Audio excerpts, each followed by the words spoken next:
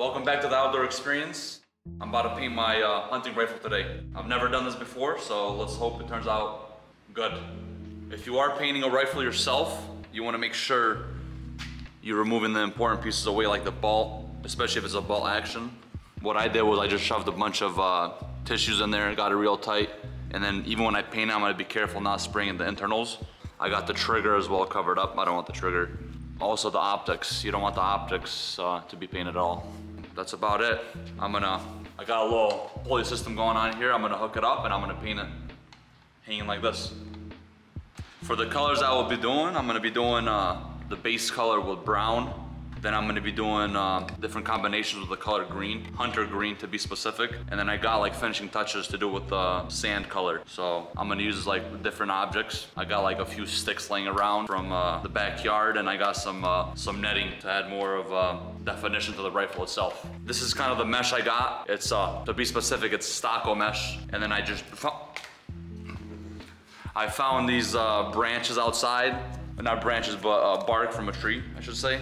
I'm gonna use those for like different patterns like this, lay them around, hit them with the brown. I'm gonna start putting a, a nice thin layer of uh, the brown base coat. So I'm gonna just kind of do the whole thing. Put butt stock over here first.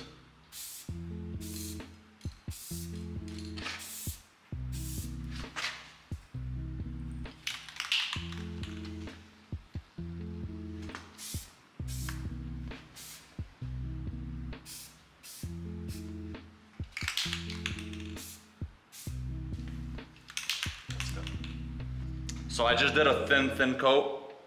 As you can see here, it looked pretty good honestly for the first coat.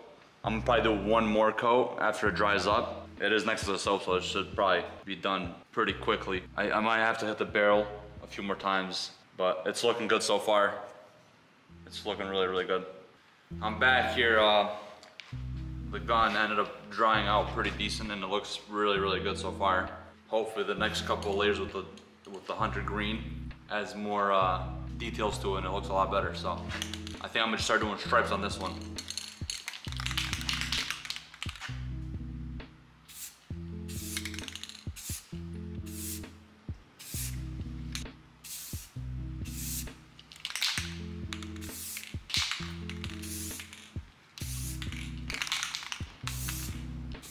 Do the barrel down here, around the trigger.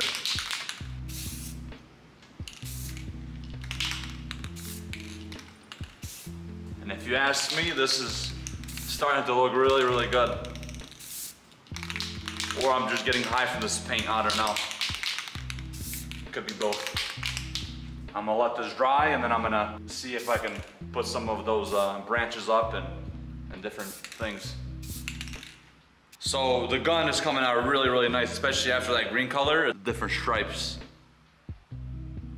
In some spots is a little more green, some spots is a lot lighter. So I think now we're gonna go with the sand color and I was testing out how, how I'm gonna do the sand color because I didn't wanna ruin the dark colors with the super light one. So what I did was I grabbed a plate and I kind of mixed all three colors together and kind of made this like light, light green and got like this cardboard paper. And then I'm gonna just dab it on there. And then I'm gonna just dab it in a few different spots like this. Do the barrel area.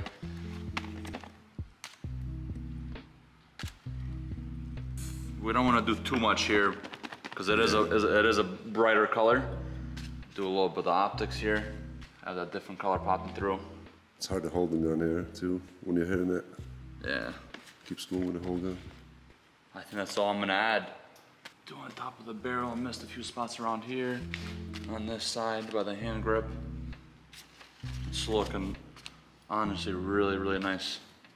Because it's, I think the more you're adding it, it looks better. I like it at least. Yeah. if you don't like the gun afterwards, then I'll take it. I'm gonna let it dry and see how it comes out after it fully dries up. So while I was waiting for it to dry, I thought maybe I would add a little more uh, different colors to it. So I just mixed uh, brown and green now instead of mixing all three colors. So I'm gonna go ahead and just mix this together. I think we're gonna need some more green, yeah. I had to add a little more green color to it. It was just way too much brown. And now we got this like a very like My dad here's gonna hold the rifle for me because it's moving around too much. I'm gonna try to put it randomly in different spots that This this one you're not gonna see it too much, but it's gonna blend in. isn't to blend the other colors in, Yeah. yeah. That's good.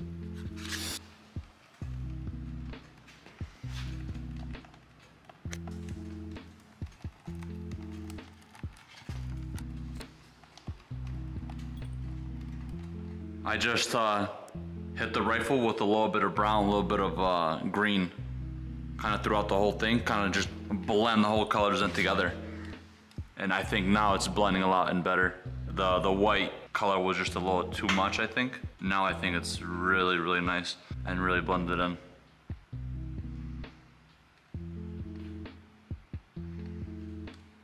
Welcome back. It's the next day here. I had to let it actually dry out because it, it- just wouldn't want to dry. It was just super sticky and I don't want to touch it.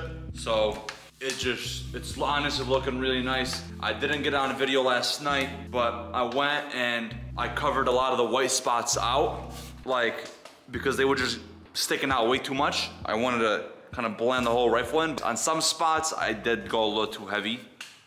Uh, like there's a few bumps like around here. They're not really noticeable. That's the little rifle right there. From the end of the barrel all the way through. All the way through here. Honestly, I think it came out amazing.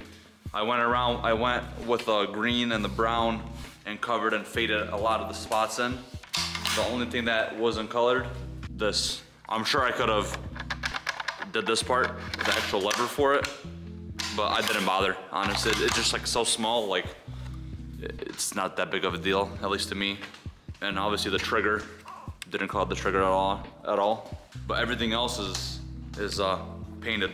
I did get a little a little overspray on this end of the lens, but nothing that like you can't go in there maybe with like a razor and just kind of like carefully remove it. You don't want to scratch the actual uh, glass part. But besides that, I think it, it just turned out really amazing. I definitely like it a lot more than black. Also, I want to say thank you for uh, showing a lot of support on my last video. It was my first video on the channel actually, and I got a lot of uh, support from you guys on that last one, and it was much appreciated. I really enjoyed making that video. But anyways, I hope you guys enjoyed and maybe learned something. Either don't do what I did or do it better than me. But I think it turned out really amazing. I uh, hope you guys have a, an amazing day, and I'll see you guys next time.